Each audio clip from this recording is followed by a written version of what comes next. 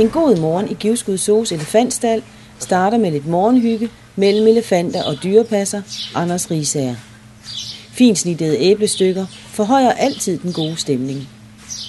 Og når man betragter, hvordan det kæmpestore dyr håndterer det lille bitte stykke frugt på den mest elegante måde, så kan man ikke andet end fascineres over dyrets forlængede arm, snæben. Hvor er travlt, Formidler Kim Skalborg Simonsen deler denne fascination over snablen med os andre. Han kan så samtidig også fortælle om den. Kim, elefantens snabel, den er faktisk enestående. Ja, det er nok et af de mest fantastiske organer i dyreverdenen. Det er en sammenvoksning mellem dens næse og overlæbe, som er forlænget så langt, at den kan nå helt ned til jorden. Og elefanten bruger snablen til at, at samle maden op med. Den plukker bladene fra træerne og tager barken af grenene.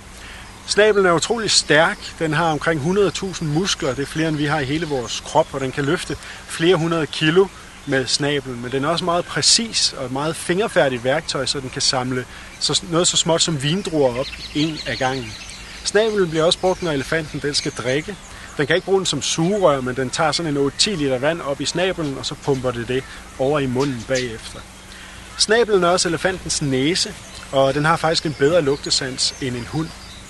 Elefanten bruger snablen til at trompetere med også, men øh, den kan ikke kun bruge den til at lave lyd. Nye undersøgelser tyder på, at den faktisk kan mærke vibrationer i jorden, så den kan høre, når andre elefanter de taler. Og sidst men ikke mindst, så hvis vores elefanter de tager sig et bad her i Givskud Zoo, så er vores sø faktisk så dyb, at de kan komme helt under vandet. Men det er jo ikke noget problem, når man har en snabel, naturens mest fantastiske snorkel.